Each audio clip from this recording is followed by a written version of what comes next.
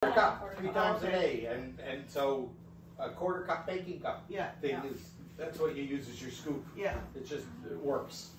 Uh, um, so yeah, quarter cup three times a day. I can't tell you how much your individual pup is eating Yeah. because they're eating in that round Yeah. bowl, so I don't know how much each one's getting of, of the whole.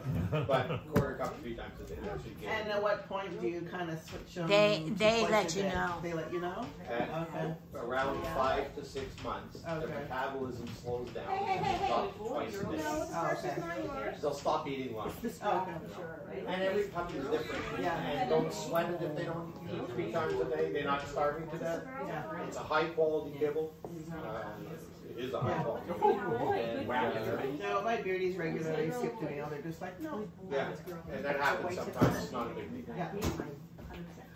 Yeah, it's in. When you pick up the puppy, we're gonna sit at the kitchen table for half an hour and go over stuff. And feeding is one of the things we go over, and it's all written down. And You take it home with you. You can refer to it. All that kind of thing. you know. I know. Oh, Going to sleep, Just little tired. bird. Just tired. No.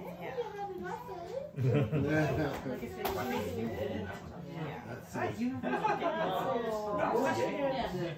I need to rest. Who was it that you got the beardies from? Uh, Diane Wyman, she, I think, helped you guys with the standard.